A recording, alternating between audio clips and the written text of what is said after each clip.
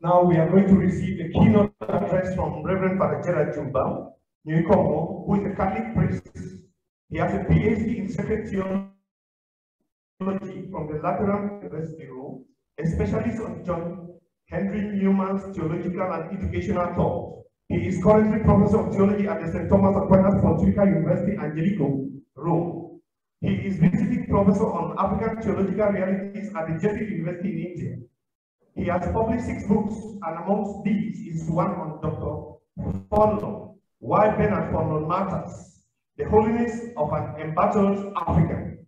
Please, let us listen keenly on this great scholar of Bernard Fonlon. Father, we are Okay. Bernard Fonlon, a man for all times. Bernard Fonlon, a man for all times. I begin this address with a quotation from Bernard Nsokika Fonlon in his uh, The Genuine Intellectual, which will act as a guiding light to all that we will be discussing. And we are getting ages away from President Lincoln, who sat down to write his historic letter to a mother who had lost five sons in the Civil War. This war told on him, wore him down because he felt for men. No man hardly counts anymore, but to the true intellectual, he should count before all else, should be his prime occupation. Yes, man, first and last, should be the foremost concern of the genuine intellectual. Dear brothers and sisters, for many years, in fact, since infancy, I have had a hero. The subject of this keynote address, the subject of this conference, Bernard Nsokika Fonlon. I make no apology for being a hero worshiper. If, as the British philosopher Carlyle said,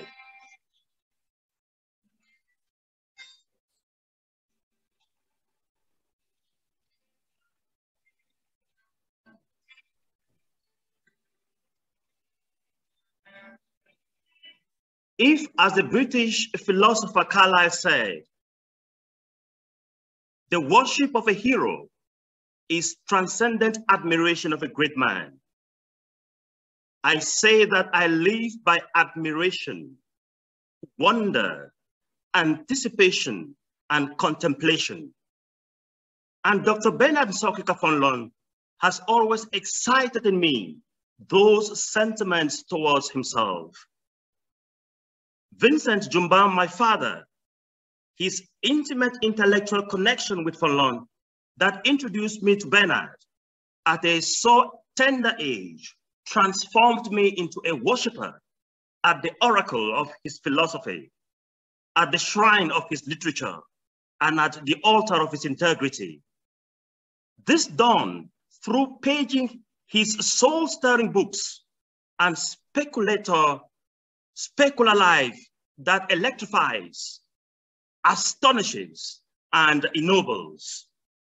If I were alone in the statement, which I am not, I would say without hesitation that Dr. Bernard Fonlon is the 20th century's greatest African educationist whose pedagogy should be included in the curriculum of all higher educational institutions in the whole of this continent. Bernard Fonlon, there is so much to contemplate about you and much too much to behold. The trouble is that your life denies quarantining, but welcomes pondering instead. Like many here, I thought I knew you. Now I realize that when I am in your company, it is myself I experience That is the marvelous merit we have in knowing you and in enjoying your craft and in having friendship with you.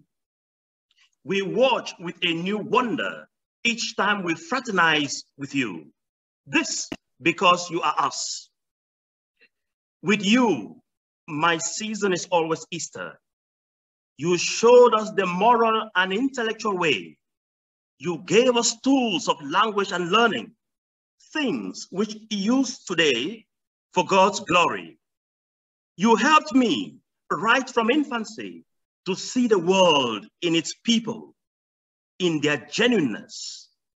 30 years after, I see the man you are because things are exactly as you told me.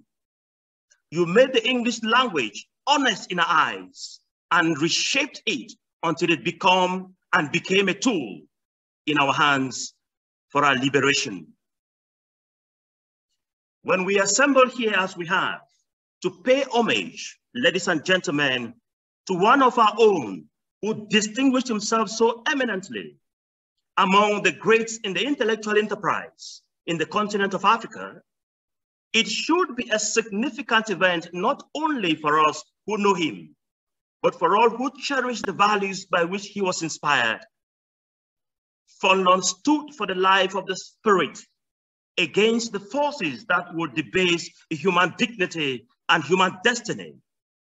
His example today is needed more than even yesterday. As a philosopher, his quest for truth was unquenchable. As an educationist, his work on human formation indicated the way to Africa that there was somewhere, somehow, the African culture worthy of preservation. We of the African race cannot remind ourselves too often of what the black man has gone through and of the condition in which he finds himself today, consequent on centuries of tribulation. Bernard told us he was despoiled of all he had, despoiled of his rights, despoiled of his mind, despoiled of the will to resist. He was degraded, reduced to the level of the beast. In the words of a celebrated oratorium, he was despised and rejected of men, a man of sorrows and acquainted with grief. Africa, African people have found their personal lives thrilled and empowered by the significance Dr. Fonlon attached to his identity and place in human history. Those who seek the unseen world in what seems like an atheistic age, find in him a strengthening booster who championed African saintliness in the Christian religion. Bernard Fonlon, saint and scholar. Maybe the simplest tribute suits him best. He was a simple man. Even in politics, in simplicity and self-effacement, Fonlon was the arrowhead and master strategist of the pioneer government of reunited Cameroon who called the shots from the background. Dr. Bernard Fonlon believed strongly that, and I quote him, any genuine thinker scholar shrinks back with horror from adulation as from the plague runs away from the fans as from a madding crowd. Fulsome praise, the blaze of publicity, exciting and harmless as they may look, can do untold, even irreparable harm to the upcoming intellectual. Human beings fall, fall in love with simplicity. The finest way to make life simple for those around you is to humanize, to care, to be the perfect tonic to others, to make them feel respected and appreciated. The best way to be simple is to speak with the human voice, to bring people close to nature and to grace. Bernard Fonlon teaches us that every end is a human being. His philosophical success, driven by the vision of the genuine intellectual, is to refine ideas to their bottom line, simple, thorough. Ideas are the most powerful things in the world, the most necessary and the most precious too. Bernard said, for any human achievement, however immense, however spectacular, however spellbinding, must inevitably take birth as an imponderable concept in a human mind. Consequently, thinking is the most necessary, the most noble activity of man. Indeed, it is unquestionably thanks to ceaseless thought that the world grows and develops and reshapes itself. Therefore, those in power who strive to suppress thought, whatever degree, for whatever reason, however seemingly plausible, may be depriving the world of untold benefits. Their thoughts can do irreparable harm and render themselves guilty beyond pardon of a heinous crime against humanity. Yes, it has happened before. Our concern is that nowhere on this earth should it ever happen again. Clarity propels Bernard Fonlon. Not casual clarity, but penetrating across the board, 24-hour clarity. And know this, the garbage masterpieces that fill libraries are rampant in the intellectual world. Well-mentioned, organized theses, but often with clothed style and language that jars the mind. Bernard Fonlon was an honest writer. Open communication, which often lacked the cutting irony of his mental and moral mentor, John Henry Newman. The finest advice he left humanity, be true to fellow humans. His life teaches us the pleasure of simple living. He infects us with his enthusiasm for plunging into the deep rivers of an examined life worth living, then takes us down some beautiful cliffs of salutary but frightening risks that lift hearts up. They undervalue the value of simplicity today. But Fonlon, even when he was conscious of it, that he was a great man, brought himself down to the level of the unlettered. He believed the universe was a totality of material and non-material bodies, the embodied and the unembodied world. At this point, the question arises, Fonlon said, whether beyond quantity, beyond matter, anything else exists. There is a phalanx of learned and prestigious philosophers who say no. For my part, though, without learning and prestige, I say yes. And saying so with me are the millions who believe in the existence of non-material human soul, in the existence of a spirit world, in the existence of God. Besides the visible, sensible world, there exists another beyond the reach and ken of eye and ear and smell and touch and taste. Above all, Bernard Fonlon had a clear-cut, self-evident sense of God, a consciousness of a creator who created man and the world, a God who leads him through his dark and bright days. But this sharp sense of God was equaled by his greatness of mind, which was bold and brought itself to bear on questions of faith. Bernard Fonlon is one of the great luminaries of our time. His inner strength may well have come from knowledge and wisdom, but it is, it is his religious conviction that gave him sustenance and spiritual power. Fonlon believed that faith was the soul of social union.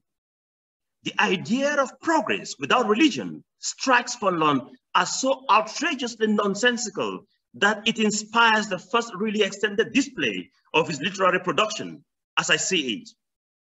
The man, he says, who rejects God, rejects the only hope of man. Religion, therefore, is a thing which no man or nation can afford to trifle with. From first to last, education in the large sense of the word was Bernard Fonlon's line. Bernard Fonlon's total being was so gobbled up by learning that in 1975, he resigned the flourishing public life of Manning Ministries as minister, embracing the classroom in university education. Education, real education is achieved not by transforming institutions, but by the touch of person to person, the master to the student. Education is the heart of man, stirred by impressions gained from being in contact with an inspiring master, a teacher who describes using poetic feeling, who influences young people by the power of his sentiments of his voice, who inflames the young with simple penetrating deeds, and whose facts and events in school the students remember all through their lives. Education to him occurs not so much in academic classrooms, research labs, and book rooms. It resides also in the busy intellectual marketplace, in the church pulpit, in creative writing, in sports centers, in music making, in journalism, in literature, in philosophical debate. For in the weighty words of his other contemporary, Chinua Achebe, to be educated is, after all, to develop the questioning habit, to be skeptical, to be skeptical of easy promises, and to use past experience creatively. The aboriginal target of education, especially higher education, is not the gaining of advantageous information or acquisition of talents vital for specific callings in life. It is the gardening and enlarging of the brain. That is the teaching of the mind to think freely, fruitfully, and fearlessly. The essence and integrity of education is to build civilization, to give life to human beings, to bring peace and justice in the hearts of men and women, and to make them happy beings. And therefore, it is not about half-baked education, but about its fully flourishing, about bringing the destinies of our people to full bloom. For in the words of Bernard Fonlon, if the intellectual is to be unflinchingly faithful to his role, that is, to be the untiring seeker of the true, the good, the right, and the beautiful, and the dauntless defender against falsehood, evil, injustice, and Philistinism, if he is to be the principled nonconformist, or as I have baptized him, the gadfly and God, risking the frown of the great and tyrant stroke, he must acquire a will of granite, must possess or cultivate a more than normal caliber of courage. Indeed, without fearlessness, without the readiness to die, to lose all if need be. No thinker scholar, however high his talent, can ever make an impact on his community. The recognition right from Enugu seminary days that Christianity was a learned religion filled Fonlon's entire life with immense delight. Christianity came to the world as the child of an institution of the scholarly elders at the age of 12, Jesus Christ is already seen flexing intellectual muscles with the doctors of the law in the temple. And to speak with divine authority was to quote the Psalms and the prophets. To speak for God, you had to be acquainted with the writings of the ancients, the Torah. This Jesus did. This Paul did. And the Bible as it is served today comes to us thanks to the great scholarship of Matthew, of John, and later of Mark and Luke. So the philosopher in church speculates, and the theologian submits to his learning. So it was Fonlon's joy to be part of that religion that never despised Plato, that embraced, I will say, hook, sink, liner, the Aristotelian metaphors of philosophy in the great saint and scholar, Thomas Aquinas. Bernard Fonlon directed the attention of the rising generation to higher and more primitive ways of Christian truth and morality than had latterly been in esteem among us.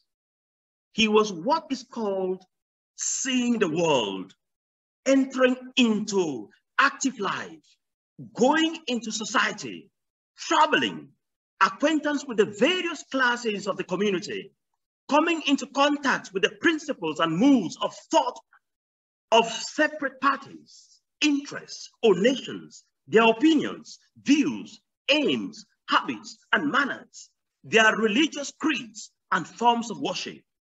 All this exerts a perceptible effect upon the mind, which it is impossible to mistake, be it good or be it bad, and which is popularly called its enlargement or enlightenment. Bernard Fonlon's pedagogical philosophy for the embattled African continent is encapsulated in the last advice which a King David, dying, gave to his son Solomon. Esto vir, be a man. The African tendency to give primacy to human, social, moral, and spiritual considerations, Bernard says, as opposed to calculations of material gain or advantage, should be encouraged and reinforced. The straightforward candor, the simplicity and the naturalness of the African's attitude towards his fellow men is to be preferred to the artificiality, the excessive cultivation, the sophistication, and the overfineness of European manners. The African conviction that the inculcation of manliness is a first principle of education should be restored and stressed in the face of the emasculating effects of pleasure-loving Western materialism. The idea of a university as an institution of unique, mm-hmm. special, and original purpose has all but disappeared.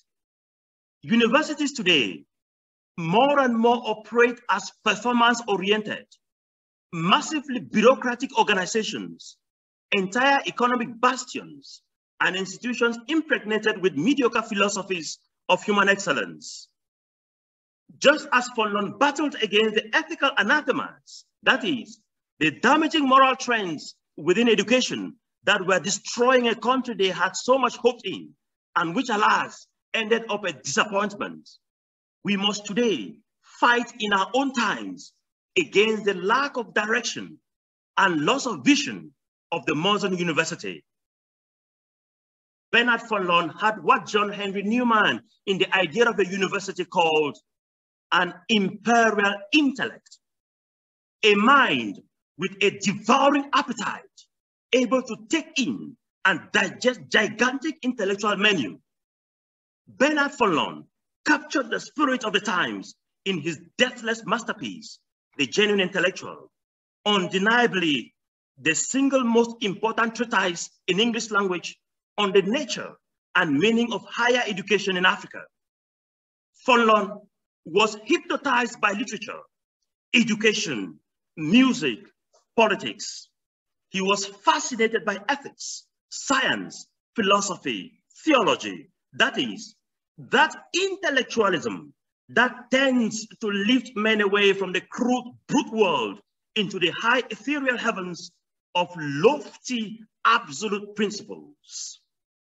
His intellect was not merely a library of captivating facts and factoids, but a colossal monument decked with a beautiful intellectual panorama in which stones and cements and roof and ceiling and floor were aptly arranged in relevant locations, harmonized with an erudite, careful, scholarly perspicacity and an intentional grace for an awe-inspiring edifice. An intellectual is not drawn to dogmatically fixed ideologies, fixed on some naive cultural views that ignores the genuine aspirations and cries of suffering and subjugated people for instance, the matter of the Cameroons, or more pertinently, perhaps the matter with the Cameroons, the Southern Cameroons and the Republic of Cameroon today must be the subject of the hour. Dr. Bernard Fonlon taught us never to be afraid of thirsting for the truth and never to settle for mediocrity, to live with open hearts and minds and not just stick with prevailing mentality in a world that celebrates deceit and counterfeit living. The questions of our people, their suffering, their battles, their dreams, their trials, their worries possess an interpretational value that we cannot ignore if we want to take the principle of the incarnation seriously. Their wondering helps us to wonder ourselves. Their questions question us. Now, I come to the Southern Cameroon's reality, a one which, if we are to be honest, must be animated by a philosopher, by a theologian, an educationist that brings hope to a people targeted by war, a territory that has gone through an oppression, a colonial oppression that must be decolonized now. Unless we stretch the topic of our conference, which is about the relevance of Fonlon to us, unless we stretch it to breaking point, this keynote address will be about some other thing and not Bernard Fonlon. Often the phrase, though well-meaning, asks for the wider Cameroon Republic's community to ensure that the so-called Anglophones feel welcome in their country. I say I don't need to be welcomed by anyone. I was born at Kumbo, Shisong Hospital, to parents whose ancestors owned that land. My journey through my mother's womb to the cradle of Kumbo was pretty enough to welcome me in my land of birth. The midwife and reverend sisters who taught the baby me made me feel at home my most essential intellectual formation, right till priesthood, was all in that native land of ours. So when I say I am of the southern Cameroons, the world must listen. Though some couple of years now here in Rome, nothing shakes the foundations that my aboriginal native land laid for me. So I am a proud native of the southern Cameroons. We want to confer on this man Dr. Bernard Fonlon, the title of upholder of the mantle of the Southern Cameroon's values. This because he is the first ever prophet of what was going to happen to the people of the state of the state of the Southern Cameroons, the oppression, the annexation, the wicked military occupation. The history of the world is the history of few biographies the history of the unholy reunification of the Cameroons in 1961 up to 1984, outright annihilation of the Southern Cameroons to La République du Cameroon. This history is the biography of Bernard. The past, the pangs, the trials are his. Saint and scholar, consistent in living the standards of a noble life. His life is a metaphor for the Southern Cameroon's agony today. When Bernard Fonlon began his literary career with the book, As I See It, he joined a long and venerable line of intellectuals who cared about conscience, of scholars who sought to mold society, not merely by saying what was, but by reinventing their own world and generating an atmosphere that spoke to the realities of the concrete lives of their people. The most meaningful manner an intellectual of the Cameroons of today can dissect a topic of public importance, therefore, and be relevant to his stricken community is to interrogate not only the normal two sides of the question, but also to put the screws to his own personal conscience and have the courage to speak more not from schools of thought about the question, but to address the subject matter from conscience, to look into the disputed point as he sees it. Bernard Fonlon's first book is entitled As I See It. A young seminarian penetrating already into issues as he sees it, not as society sees it, not as others see it, not even merely as the church sees it, but as I see it, a bold moral statement from someone who wants to do him to think him, to think for himself, and to solve problems taking his personal experience into account. Because if he, if I see it well, then the universe sees it well. The church sees it well. God sees it well. This because truth is one. That is moral courage, the fearlessness to go out there and do the right thing. For according to Dr. Bernard Fonlon himself, he said, the law of fearlessness forbids me to tremble before any man or group of men. It forbids me to shrink back from doing what such examination has shown me to be true, good, worthy, and noble. It commands me to do that good, to do it fully prepared to embrace harrowing criticism, bitter unpopularity, crushing punishment, sharp censure, dismal failure. Yet, this is a law enjoining enlightened firmness, not blind obstinacy. Ladies and gentlemen, before 1957, the predominant conditioning to the world by colonialists was that Africans were so unfit to rule themselves that they could not be allowed to, to themselves in matters political. It took Kwame Nkrumah from proud studies in America to see that such nonsense should not be allowed space anymore. And he marshaled the energies of his people and they won independence in 1957. Ghana was the pilot state for sovereign rule among Africans. Today, the Southern Cameroonian stands in that vantage pilot position for the unfree zones of the African continent, continent refused liberty. The overpowering relevance of this role cannot be overstressed. But if this historical feat must be made, made not mad, the intellectual body of the Southern Cameroons must get in, must engage. The Southern Cameroon intellectual must be the stem into which the African traditionalists, the unlettered masses, should be grafted so that the sap that runs through the revolutionary organism from the root to the flower and give life and strength to our national cause should be guided by solid principles, top scholarly investigation, and stoic discipline. If this is to happen, the Southern Cameroonian scholar must engage in the study of past salutary revolutions of, for example, American and the Cuban type, must get to who George Washington was, must delve into the study of what Ernest Che Guevara offered the world, must study anew the things that made Mao Zedong to build a China that is respected today by the whole world, must get into the mind of Desmond Tutu and make St. Oscar Romero his patron saint. Any university in the Southern Cameroons, however glorified, however high sounding, that does not help its freshmen to think and look for solutions to the brewing war of independence that the manhood of our land is bravely committed to today can in no way be of relevance to our embattled people.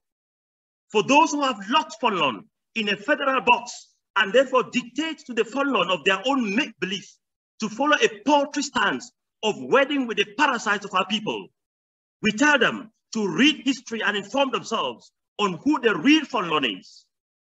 Bernard had expressed in his Will We Make or Mar right back in 1964 the weaknesses even of the national federal system that was born in Fumban.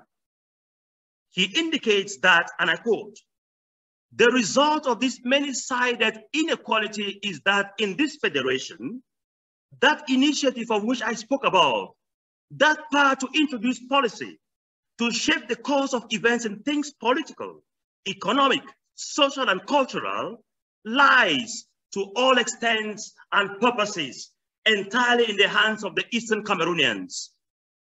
For Fonlon continues, for at the conference table, Southern Cameroons could not speak with that dignity, that authority, that is the prerogative today of even tiny Zanzibar. Ladies and gentlemen, it is impossible to investigate and study at all seriously in any area of the early 1960s reunited and federal Cameroon without sooner or later meeting the melting magic of the words Bernard Nsokika Fonlon. The Cameroonian reunification, properly so-called, is almost a phenomenon of the 1950s. It received its first charter of legitimacy in the hearts of the Students' Union of Cameroon abroad. In many respects, as events have shown, Bernard Fonlon was one of its greatest architects since his overseas years. He prepared for it, tirelessly worked for it when it came. Yet, his colleagues abroad did not seem to see what the common man in the southern Cameroons was conscious of already. They even seemed not to have had a well-grounded strategy for reunification, much as they desired that objective. It seems fair to say that they felt unable to work out something on how this goal could come to pass. Wisdom often comes from unexpected areas.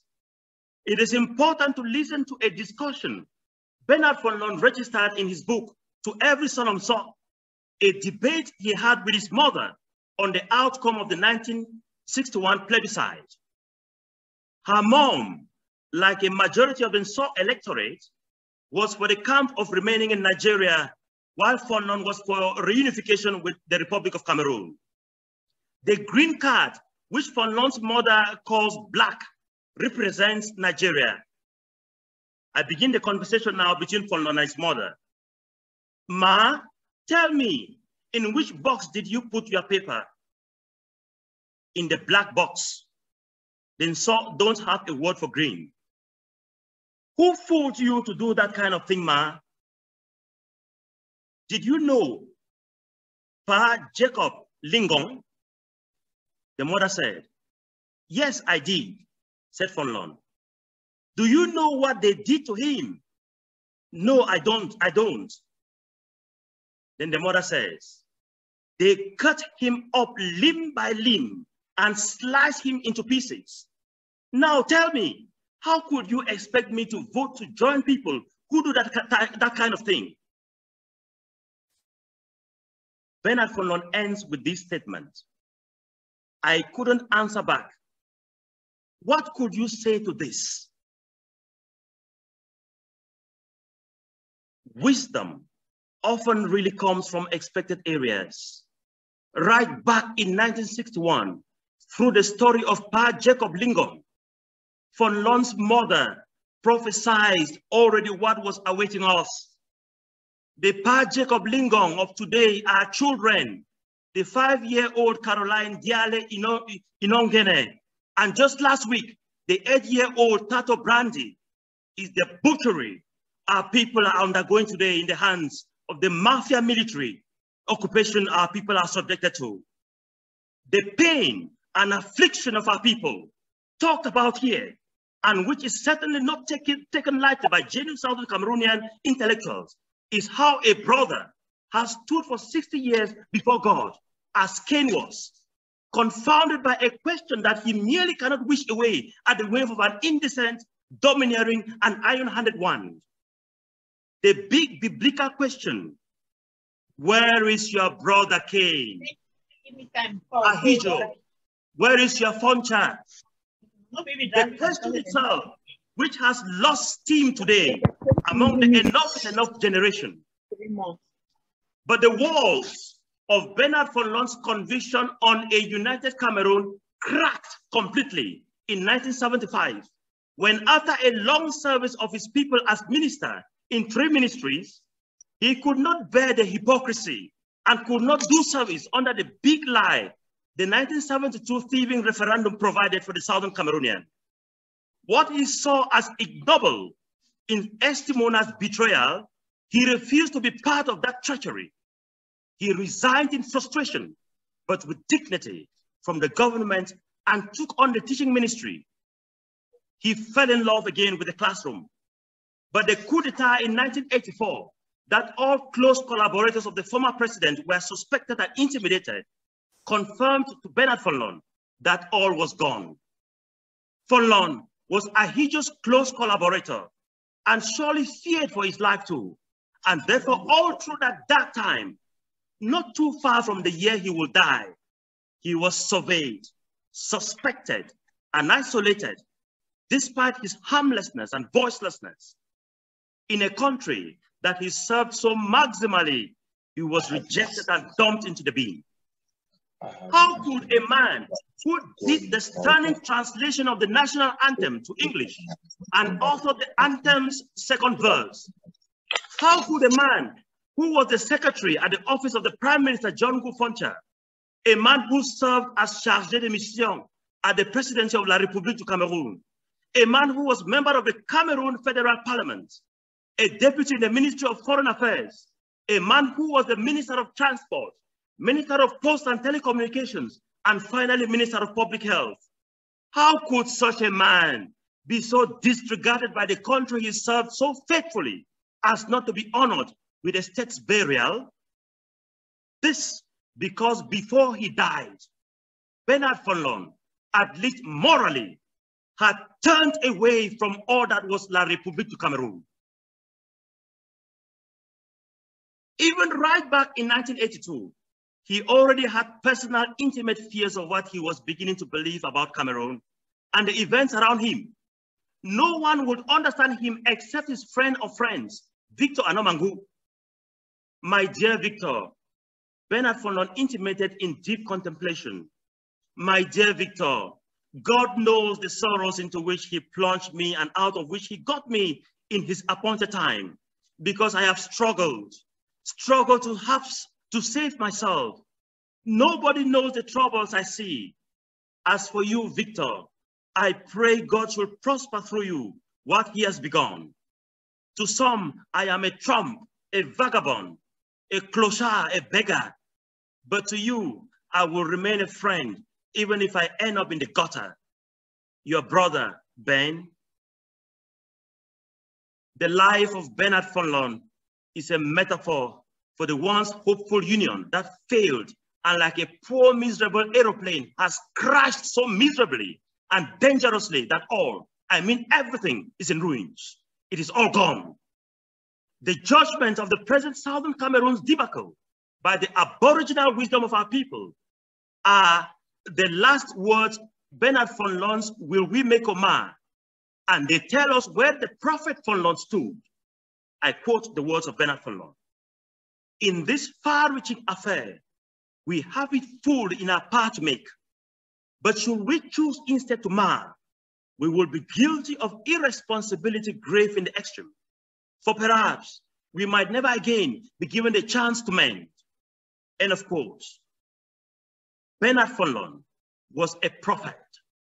Everything has been marred and damaged beyond mending. I have made this point in my writings in public gatherings of a cultural and a historical type in relation to the progress of the Southern Cameroonian civilization. We should endeavor to steer clear of narrow-mouthed debates that cage us fiercely into a hole where we are trapped by the eccentricities and narrow-mindedness of their despicable feints and cages. The intellectual enterprise, when practiced along these lines, relocates our highest intimate sensitivities to undiscovered territories that allow us lay eyes on the marvelous world of other peoples, felling barriers of cultural interconnectedness, thus becoming what Newman calls in his idea of the university an imperial mind, and what his apostle, Bernard Nsokika Fonlon baptizes a genuine intellectual. We, the learned class, we, the scholars of our people, we must tread carefully we were supposed to constitute the brain and the nerve center, the heart and the blood vessel of this revolution. But alas, yet to Bernard Fonlon, and I quote, a country's university, especially where there is only one, is the brains of the nation, the powerhouse of its intellectual life, the supplier of its skills, the molder of its leadership, the seat of its culture. A country's university, therefore, is its highest cultural institution. An earnest examination of conscience in those areas where, because of the wages we have to collect from slave masters, because of the flesh pots we have to lick in, the, in their camps, because of the blood, the boot-licking sycophants that must go on despite the suffering of our people. A serious examination of conscience uh, in those areas we have with traditional rulers openly betrayed our people's trust must quicken our resolve for a complete conversion of heart, a quick U-turn in response to public displeasure, and not settle for an easy life. Instead, the poor masses, the hoi polloi of the southern Cameroons, have brought significant influence to bear on the independence progress. They have refused to be passive onlookers in affairs touching the intimacy of their destinies. The authority to kick off change, the cultural courage to suggest a new way, the power to provoke a transformation has been almost utterly in the hands of the unlettered masses and has been dormant among the intellectual and elite community of our people. Faced with the unprecedented accomplishments of the strength of the unlettered freedom fighter, it is essential to inquire where they pick up their penetrating principles, their telling tenacity, their intrepid pragmatism. To me, a university of a people must, especially in an epochal moment like this, be a mirror of the nature that our southern Cameroon state is going. The high purpose of our people have set for themselves the noble mission that has fallen on their lot of freedom fighters must be facilitated by the brilliance of brains, the vitality of influence, and the courage of scholarly authority the Southern Cameroons is endowed with. Bernard Fonlon was a holy man. He was a saint. Many testimonies have been to this fact, but I think one of them gathers the greatest weight because of the historical moment it was made and because it came from the lips of the then Bishop of Fonlon. He was a saintly man, Bishop Cornelius Esua said, and, account, and on account of this, regardless of who he was, I have decided to lay his mortal remains next to those of his closest friend, late Father Aloysius Wankuri, as a sign of our gratitude for his affection and deep attachment to the church. A saint, dear ladies and gentlemen, is not a magician, a mere miracle worker, or a man who floats about on clouds of holiness. A saint is someone who has, by God's grace, become all that they were created to be. If Fonlon is to be a saint, we must not compare him with any other saint, but we must only ask the question of whether he became what he was created to be. Bernard Fonlon was a thorough Christian to the high level that one of his contemporaries, Dr. Verkijika Fanso, whose weighty words carry the sentiments of millions of people praying to see Bernard Fonlon canonized on the high altars of St. Peter's Basilica, Rome, Verkijika Fanso says, may our prayer help quicken the process of proclaiming him blessed, saint, worthy of public and universal religious honor the Christian is a man of the past, the present, and the future. Lives in this world, but man of the unseen world. He makes the unknown world known, creates metaphors of today's happenings, the absent world, and the world in doubt. He renders alive what he accepts but does not see. The church relies not on human law, civil status, it, it relies on the proper powers of the church, the Beatitudes. Blessed are the poor in spirit, the thirsters for justice, the peacemakers, the persecuted, the merciful, the mourners, the meek. Today, dear brothers and sisters, philosophy, education, theology wants to take its ancient taste, a faith born in dialogue in debate, in contact with other cultures, communities, countries, a faith that is ready and open to surprises. African pedagogy, African philosophy, African theology has run the risk of remaining an ideology and often a Western ideology.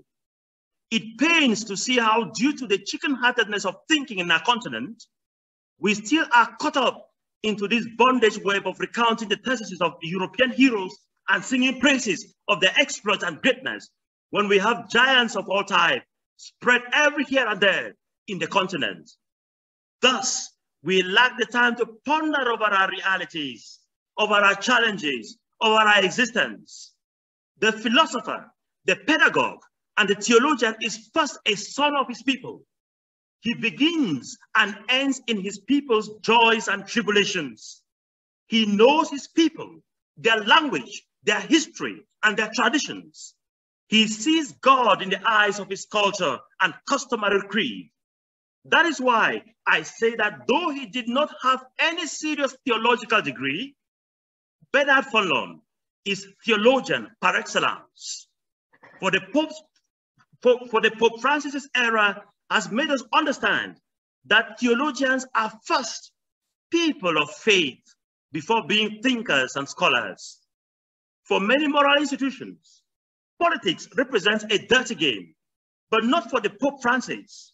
For those who claim that religion and politics should be kept absolutely apart, contemporary church thinking reminds them that Jesus Christ was eliminated by the secular and religious authorities of his time because they saw him as a threat to civil order.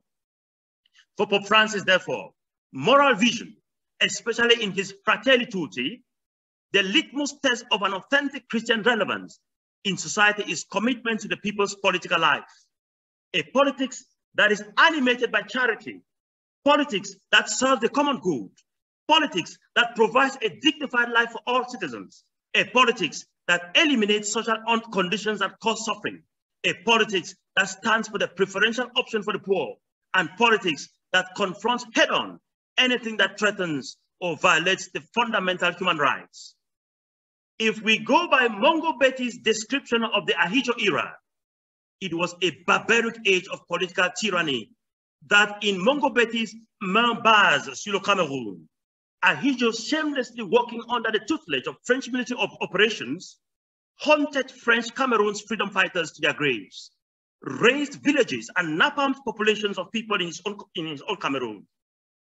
That Bernard worked so faithfully and so charismatically under this tyrant to Dr. Bate Besong, it was a thing to question and unsparingly put Fonlon where he belonged.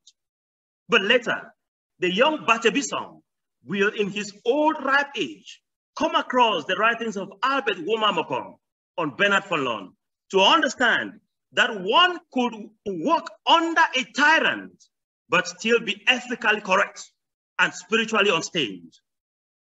The thought of what Ahidjo's Manenguba Mokolo concentration camps did to prisoners without crime can leave us sympathizing with Bate Besong's worry about uh, the political soul of Bernard Fonlon if he really worked with Ahidjo to that extent that he was one of the trusted ones of Ahidjo.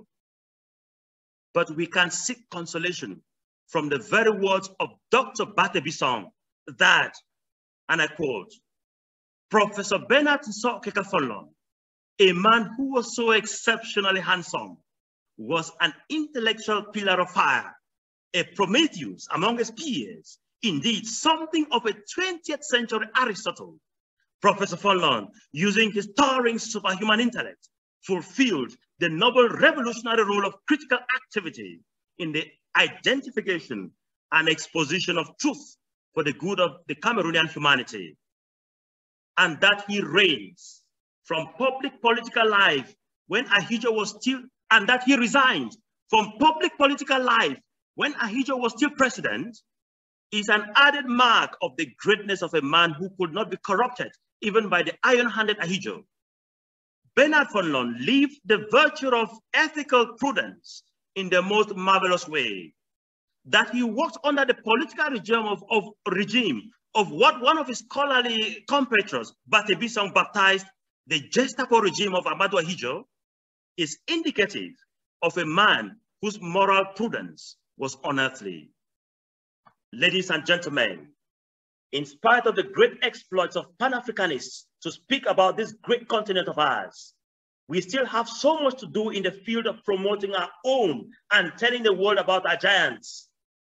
Theology, of the people, pedagogy of the people, philosophy of the people is the zeitgeist, the spirit of the times. It must conquer territory in the battle against the scholastic jargon that in the passing of years metamorphosed into an elite theology, an elite philosophy, an elite pedagogy, serving imperialists and colonialists at the detriment of self-determination and sovereignty of the peoples of our continent, the people of Asia and the people of Latin America. Today, an educationist can comfortably do theology if he neatly applies his field of study to the convictions of faith he holds as a genuine baptized. Bernard Fonlon did that in the open letter to the bishops of Bamenda and in the As I Say It. In an age in which the Pope has taken the name of the poorest man on earth, Francis of Assisi, who never was a priest, we must go back to the early church in that era where Christian faith was not disturbed by the squalid clericalism we have witnessed in recent times. The thinker scholar must get to the people. Such an one becomes what Bernard von Fonlon baptized a seer, and which I call the prophet of the people. If the thinker scholar is verily a seer, Fonlon says, one of the foremost things on which he will inescapably, relentlessly have to focus the searching light of his eye and mind will be on the nature of justice and injustice. He must become inevitably the keeper of public conscience, a humble votary of truth, goodness, and justice. And I'd like to underscore the primacy of justice here among us, the intellectuals of the Southern Cameroons. For as I have said before, the puny presence of formidable intellectuals in the invigorating revolution our people have taken up is self-evident, unfortunately, and the tide is turning thunderously against us. And let history not repeat itself. For as you know, one of the greatest perplexities in modern history is how the country of people who produced Immanuel Kant, George William Hegel, Wolfgang Goethe, and Joseph Ratzinger could go down the dishonorable path of slaughtering six million Jews and other millions of other so-called inferior, inferior races. How shall we, the educated class of our times in the southern Cameroons, testify to our great-grandchildren that we did it differently and most honorably, that there was a genocide of the enormity we have, the savage slaughter like so much beef of our own, and we sharpened our pens, stood on conference platforms, took into social media, gathered all scholarly forces possible, and sparkled with splendor in defending our powerless people against the maneuvers and monstrosities of the barbarian and his occupying army. Oh, Bernard Fonlon, in a certain sense, an accomplishment like the life of Bernard Fonlon has no successor. There are some polities which are unique and belong to a particular epoch and only to that epoch, neither passed on nor handed down. Bernard Fonlon could not form a Bernard Fonlon society any more than Shakespeare could teach Othello today. A dogma, an idea, a discovery, a modus operandi could be passed on or handed down. But how should a spirit like Bernard Fonlon be manifested? Who shall give to others that epic simplicity, that speedy penetration into the ambiguities of an argument, that spurs perception into peculiar problems which cannot be fixed by general rules and which distinguishes Dr. Bernard Fonlon, who could be the moral catalyst so bold, so smart, so engaging as did Bernard Fonlon in the ethical Philistinism that was and is still the Cameroons. These gifts are personal and peculiar. The masterpiece of Fonlon's life and writings ought to be saluted with profound respect, published separately in tract form and scattered over not only the African continent, but the whole world. We congratulate the coordinators of this venture, this conference. They have erected a monumentum aere perennius, which will ever be an honor in which we'll be in the heavens blessed such architects of an intellectual enterprise like this today. We look for immediate and direct results from Bernard Fonlon's influence. We look for remote and far-reaching results. He makes himself felt in contemporary Africa and the world, and in the thinking and actions of generations yet unborn. Oh, Bernard Fonlon, this remarkable church thinker, this fascinating of ardent African writers, this most moving and eye-opening apostle and philosopher, do us this favor of growing more in virtue like you, man of gigantic mind, steadfast heart, fearless seeker of the truth. Think of every one of us here according to our wants and needs. You have carried your big brain to God's paradise, but given us something of it in your devotees, your apostles. Intercede for us, Ben, with the Most High. Put the cause of the liberation of our land, the Southern Cameroons, before the great throne of our loving God. May your name, Nso resonate across the continent and your example be for the African child a great tower of strength, a formidable pillar of integrity, and a mighty light that sparkles the world. Thank you. The first thing we have to be conscious of is the fact that uh, the world also has changed. And uh, a good number of things have changed. But we must not change completely with the world. The idea of a university in the mind of Bernard Fonlon in, the genuine intellectual was the formation of the cultivation of minds to think. And Bernard Fonlon believed that you could even be a scientist, but you could write a literary work. Bernard himself did education and philosophy, but he was Minister of Health, of Public Health. And when he was Minister of Public Health, he did it with a certain dignity and a certain uh, greatness that those who were even qualified in paper could not do. So there is a philosophical way of approaching things, which the burden should be on those who are passing the knowledge from the rector to the professors, not just from the rector to the professors, the proprietors of the various universities. It begins from there. If you are creating a university just to produce money, to bring people so they can pay and then it rains. That is no, that is, that is a glorified secondary school. A university is there to bless young people with an environment with charismatic professors who teach by example, charismatic professors whose actions, their voices, what John Henry Newman calls influence, helps to garner a certain atmosphere that brings the students to the realization of the destinies that they are living.